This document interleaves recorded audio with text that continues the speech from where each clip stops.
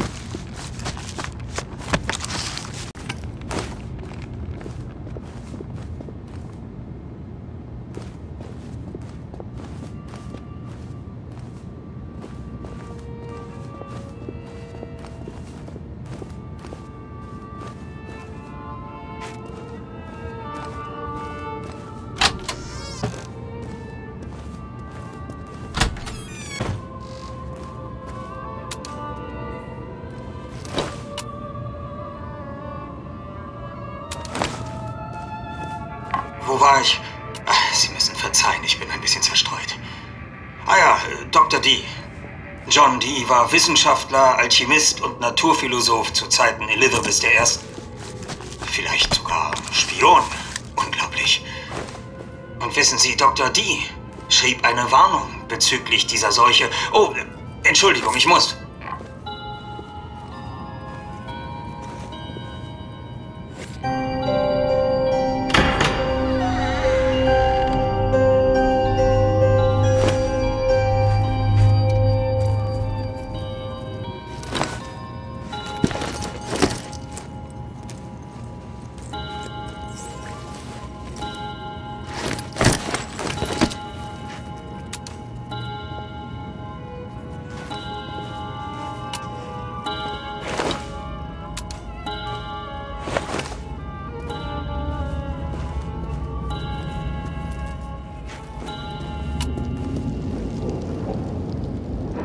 Empfehlungen aus De Rimedi Secreti folgend, habe ich den Eiter zu einem trockenen Pulver reduziert und als dekokt dem Subjekt injiziert. Gott möge verzeihen, dass ich mein eigen Weib Subjekt nenne. Dabei stellte ich fest, dass es das schwarze Blut in den Gefäßen zurückdrängt. Ich gewahrte die Röte ihrer einst rosigen Haut durch den Schleier der Krankheit. Doch, Gott sei es geklagt, erlag sie einem letzten Anfall und hörte schließlich, Gott sei es gedankt, immer zu handeln auf. Gebe Gott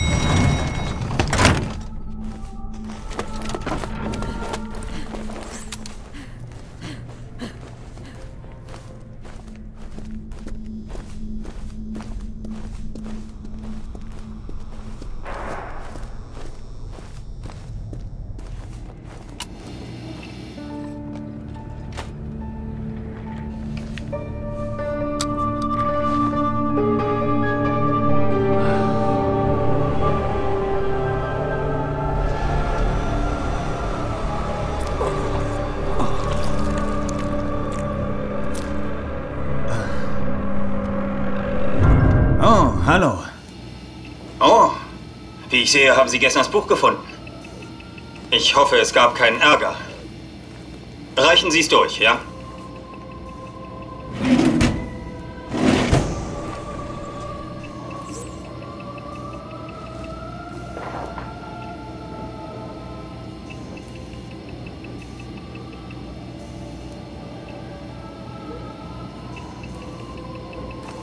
Oh, warten Sie. Da ist noch was. Ähm, das Ding, das Sie da haben, sieht aus wie das, was die Omega-Jungs rumtragen. Würden Sie mal rüberkommen, um diesen Infizierten mit mir zu scannen? Wir brauchen eine vollständige Analyse, um die infizierte Drüse zu isolieren.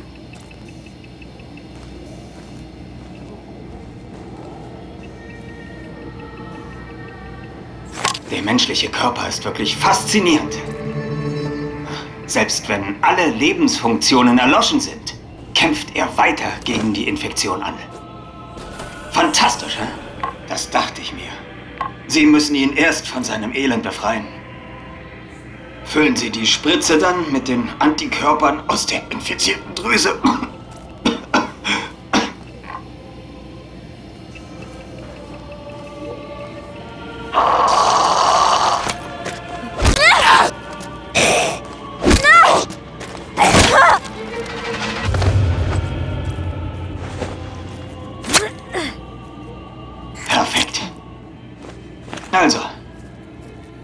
Diese Spritze wird ein Virozid synthetisieren. Eine Art Gift, überaus tödlich. Es reicht für eine Injektion, aber Sie können sie jederzeit an anderen Probanden nachfüllen.